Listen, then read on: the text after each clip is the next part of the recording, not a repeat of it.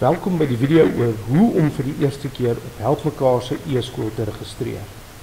Jy benodig die volgende: 'n username en password. As jy dit nie het nie, kan jy dit by JP agter in die e-sentrum kry of by meneer Baber of meneer Lourens. Jy het ook 'n geldige e-posadres nodig om die registrasie te voltooi. Gaan na die e-skool se webtuiste by e-skool.helpmekaar.co.za. Op die tuisskerm klik op login wat regs bo is en tik dan jou besonderhede in die korrekte velde. Jou gebruikersnaam behoort jou naam punt van te wees.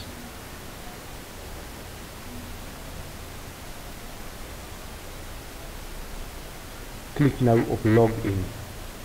Die volgende skerm vra vir besonderhede.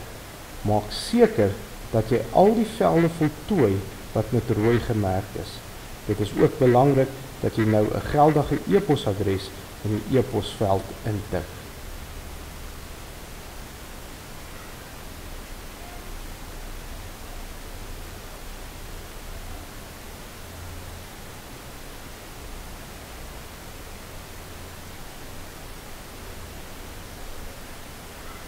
Scroll nou tot onder en klik op update profile.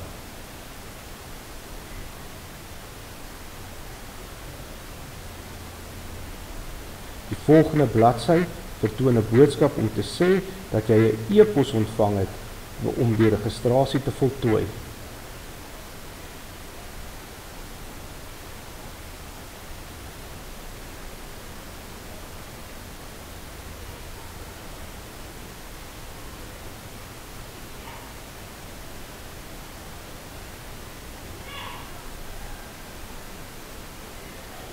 Maak nou jou e-pos oop en gaan kyk in jou inbox.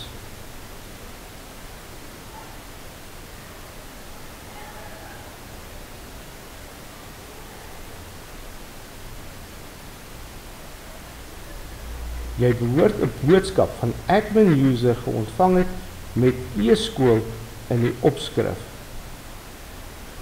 Maak die boodskap oop en klik op die skakel wat jou weer terug na die e-skool toe sal vat. Klik op continue en verifieer jou inligting en klik vir die laaste keer op update profile.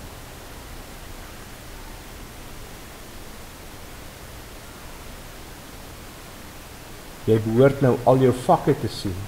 Klik op die home knoppie wat jou sal terugvat na die skerm toe wat jy sal sien elke keer as jy inteken. Maak seker al jou vakke is daar.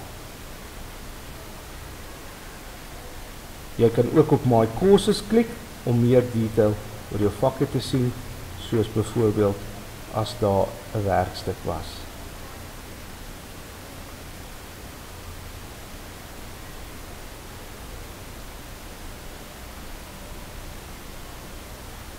Maak seker jou e-skool werk korrek deur uit te teken en weer in te teken. Baie dankie. Ek hoop julle het die video geniet.